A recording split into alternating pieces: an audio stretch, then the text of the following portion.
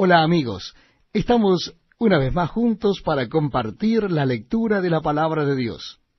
Y qué privilegio el poder hacerlo, ¿verdad? En esta oportunidad será Génesis, capítulo 6, el libro de Génesis en el Antiguo Testamento de la Biblia. Comenzaremos nuestra lectura en el capítulo 6. Dice así la palabra de Dios. Aconteció que cuando comenzaron los hombres a multiplicarse sobre la faz de la tierra, y les nacieron hijas, que viendo los hijos de Dios que las hijas de los hombres eran hermosas, tomaron para sí mujeres, escogiendo entre todas. Y dijo Jehová, No contenderá mi espíritu con el hombre para siempre, porque ciertamente él es carne, mas serán sus días ciento veinte años.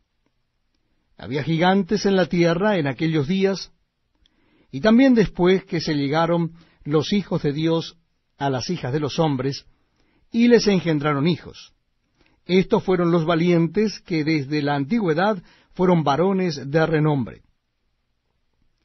Y vio Jehová que la maldad de los hombres era mucha en la tierra, y que todo designio de los pensamientos del corazón de Helios era de continuo solamente el mal.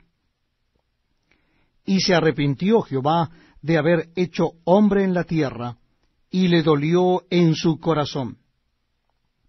Y dijo Jehová, Raeré de sobre la faz de la tierra a los hombres que he creado, desde el hombre hasta la bestia, y hasta el reptil y las aves del cielo, pues me arrepiento de haberlos hecho.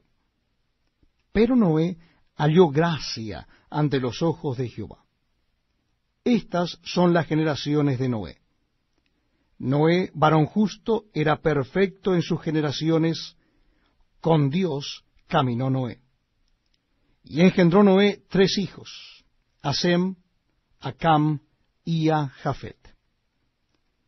Y se corrompió la tierra delante de Dios y estaba la tierra llena de violencia. Y miró Dios la tierra, y he aquí que estaba corrompida porque toda carne había corrompido su camino sobre la tierra. Dijo pues Dios a Noé, He decidido el fin de todo ser, porque la tierra está llena de violencia a causa de ellos. Y he aquí que yo los destruiré con la tierra. Hazte un arca de madera de gofer, harás aposentos en el arca, y la calafatarás con brea por dentro y por fuera. Y de esta manera harás de trescientos codos la longitud del arca, de cincuenta codos su anchura, y de treinta codos su altura. Una ventana harás al arca, y la acabarás a un codo de elevación por la parte de arriba. Y pondrás la puerta del arca a su lado, y le harás piso bajo, segundo y tercero. Y aquí que yo traigo un diluvio de aguas sobre la tierra para destruir toda carne en que haya espíritu de vida debajo del cielo. Todo lo que hay en la tierra morirá. Mas estableceré mi pacto contigo, y entrarás en el arca tú, tus hijos, tu mujer y las mujeres de tus hijos contigo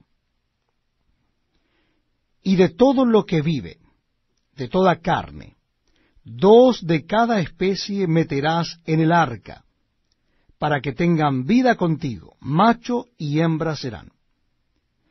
De las aves según su especie, y de las bestias según su especie, de todo reptil de la tierra según su especie, dos de cada especie entrarán contigo para que tengan vida y toma contigo de todo alimento que se come, y almacénalo, y servirá de sustento para ti y para ellos. Y lo hizo así Noé, hizo conforme a todo lo que Dios le mandó.